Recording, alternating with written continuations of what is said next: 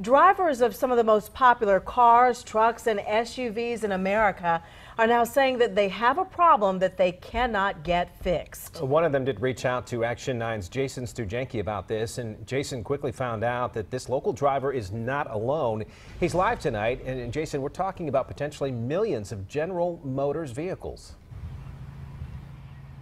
Yeah, that's right, Scott. So the man who owns this Chevy Silverado pickup truck. He contacted me, told me he was having problems with what felt like the transmission. So I came up here to Concord, met him, and we drove around for a while in his vehicle. Then I started looking into this and realized, like you said, he's not alone.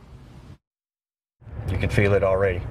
Feel that? Yeah, that little vibration. Yeah. Stephen Brack bought this Chevy Silverado last year. It's a $52,000 pickup truck.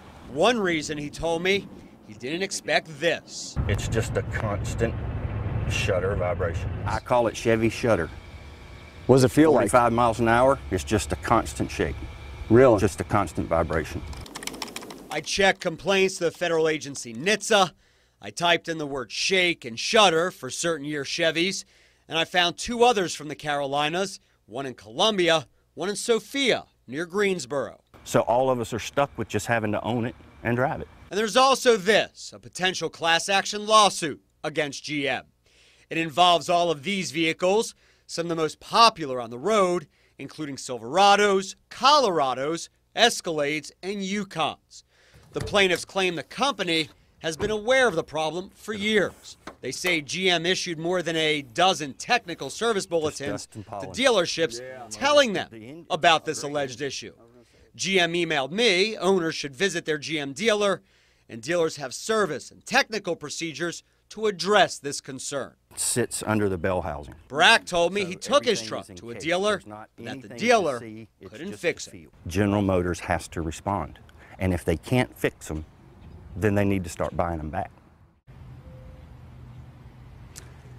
Now, the plaintiffs say what these vehicles all have in common is that they are all eight speed automatic transmissions. I put the full list on the WSOC app. Guys. And Jason, I know if, if someone has one of these cars or trucks and they have a transmission problem, you want them to, to email you as well. And, and what else? Mm -hmm. Uh, make sure they document the problem as best they can. It's always good to have the paperwork. Also, go ahead and tell GM, tell a dealer, tell NHTSA. And again, like you said, go ahead and email Action 9. Thanks, Jason.